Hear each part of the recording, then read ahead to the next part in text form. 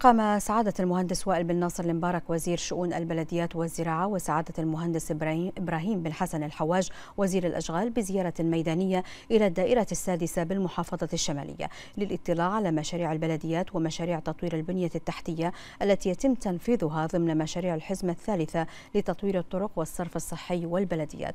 خلال الزيارة لفت سعادة وزير شؤون البلديات والزراعة إلى إنشاء حديقة جديدة في مجمع 716 في منطقة ضاحية الرمل حيث ستشمل ممشى بطول 450 مترا ومنطقة ألعاب وملاعب رياضية وبين سعادته بأن مشروع تشجير الرمل في مجمع 715 سيتضمن زراعة 2511 شجرة.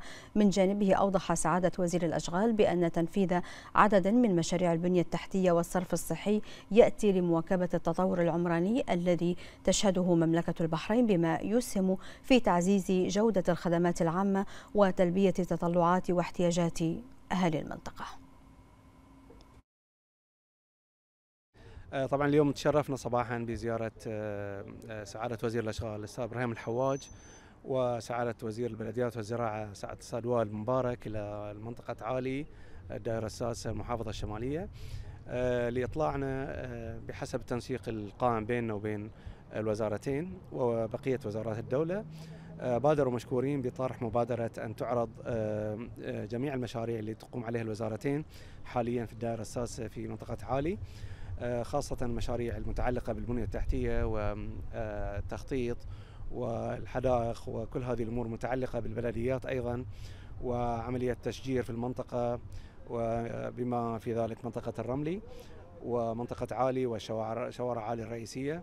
وأعتقد أن الجهد المبذول من قبل الوزارتين جهد كبير جدا والميزانيات اللي المرصودة لهذه المشاريع ميزانيات مهمة وسبق التوافق حولها مع الوزارتين المعنيتين.